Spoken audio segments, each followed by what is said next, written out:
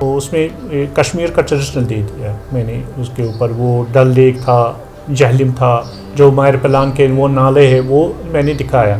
इसीलिए मैंने दिखाया वो कश ये कश्मीरियत क्या था? पहले क्या था तो आज क्या है? मैंने इसीलिए अपनी डिपार्टमेंट को जो इसका रखवाली कर रहे थे टूरिज़्म उसको याद दिलाया कि महाराज किस तरीके से निकलते थे डल लेक पे। वो कि, किस किस तरीके से सफ़ाई का पा, पानी था वहाँ पूरी तरह से सफ़ाई था। और शाइनिंग किस तरीके से अच्छे लग रहे थे जो वहाँ पे।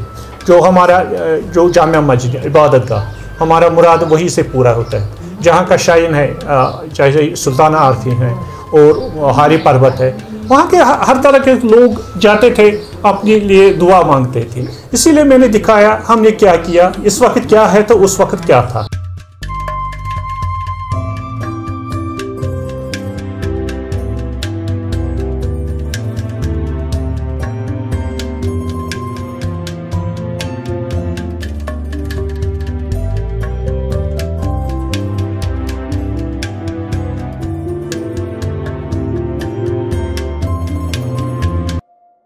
इसीलिए मैंने शौक आ गया, मैं मैं इसके ऊपर कश्मीर फैब्रिक आर्ट पे ये काम शुरू करूँगा।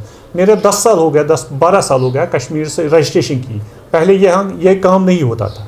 मैंने पहले बार, पहली दफ़ा मैंने ये काम किया। मैंने क्यों किया? मैंने सोचा जो हमारे बच्चियाँ हैं कश्मीर फैब्रिक सूटों पे काम करेंगे।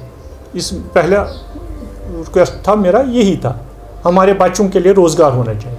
अगर हमारे बच्चों के लिए रोज़गार, वो पढ़ेंगे, ज़रूर पढ़ना है। मगर उसके लिए उसको रोज़गार भी होना चाहिए। एक दफ़ा नौकरी नहीं मिलेगा उसको। अगर वो कुछ कमाएँगे, उनका भी खर्चा है, वो भी निकल जाएगा।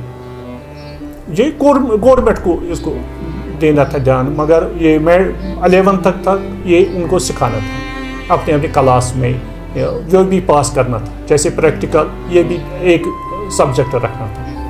उनको भी जब वो इस डिपार्टमेंट में जाएँगे, वो भी सोचेंगे आर्टिजन के साथ हमें क्या इखलाक करना है।